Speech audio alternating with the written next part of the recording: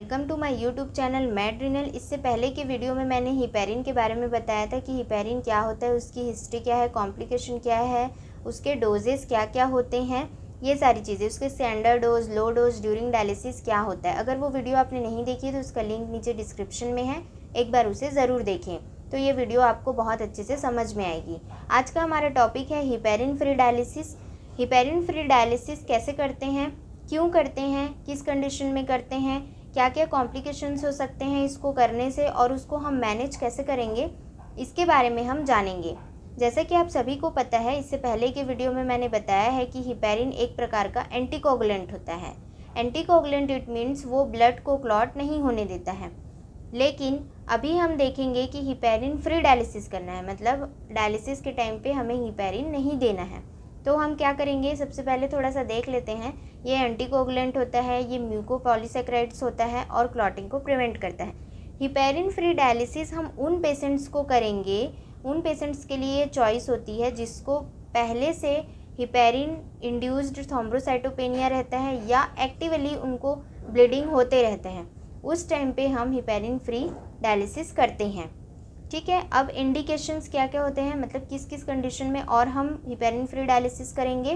पहला होता है सर्जरी कोई भी सर्जरी हो, चाहे वो आई से रिलेटेड हो, अब सर्जरी इट मीन्स ये नहीं कि एक महीना पहले सर्जरी हुआ है तो हम हिपेरिन फ्री डायलिसिस कर सकते हैं। रिसेंटली अगर कोई सर्जरी हुआ है एक दो दिन या एक हफ़्ते के अंतर्गत, जैसे आई सर्जरी हो गया कार्डियक से रिलेटेड कोई सर्जरी हो गया ब्रेन सर्जरी हो गया किसी भी प्रकार की सर्जरी अगर रिसेंटली हुई है तो उस टाइम पे हम हिपेरिन फ्री डायलिसिस करेंगे। सेकेंड थिंग इंट्राक्रेनियल अगर किसी भी पेशेंट को हैमरेज हुआ है कोगिलोपैथी है, उस टाइम पे भी हम क्या करेंगे? हिपेरिन फ्री डायलिसिस करेंगे। रिनल ट्रांसप्लांट होने वाला है या हो गया है, उस टाइम पे पेरिकार्डियसिस किसी पेशेंट को है, उस टाइम पे भी हम हिपेरिन फ्री डायलिसिस करेंगे।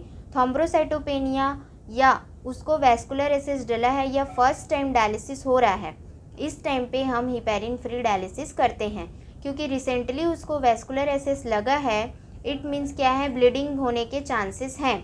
अब क्या क्या कॉम्प्लिकेशंस हो सकता है? तो सबसे पहला कॉम्प्लिकेशन तो यही होगा हिपेरिन फ्री डायलिसिस करेंगे तो क्लॉटिंग होने के चांसेस रहेंगे।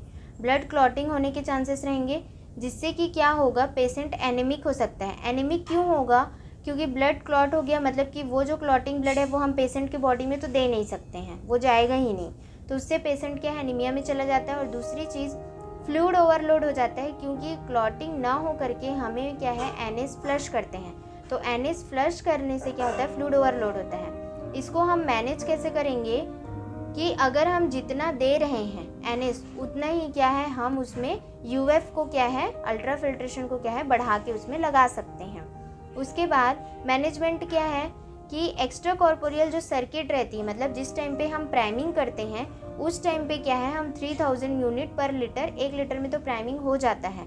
उतना हम हिपेरिन दे देंगे रिसर्कुलेट कर देंगे, जिससे कि डायलेजर क्लॉट नहीं होगा। दूसरा चीज़, अगर पेशेंट टॉलरेट कर सकता है तो हम हाई ब्लड फ्लो रखेंगे। तीसरा चीज़ 200 टू 250 फिफ्टी एम सलाइन देंगे एवरी 15 मिनट्स ये टाइमिंग कम ज़्यादा हो सकती है। हम विजुअल इन्फेक्शन करेंगे, उसके बाद ही हम सलाइन को देंगे।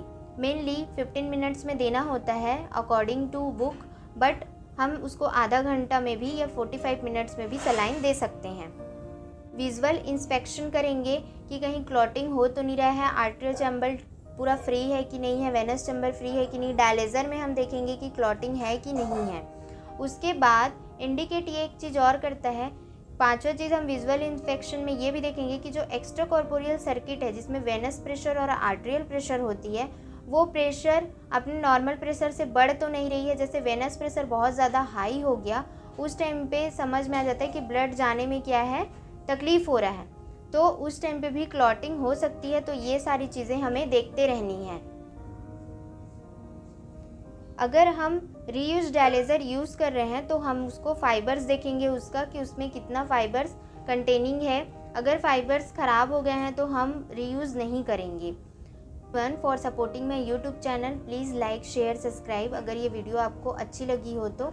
अगर नोट्स चाहिए आपको तो आप टेलीग्राम चैनल से जुड़ सकते हैं। उसका लिंक नीचे डिस्क्रिप्शन में दिया हुआ है। Keep growing keep learning thank you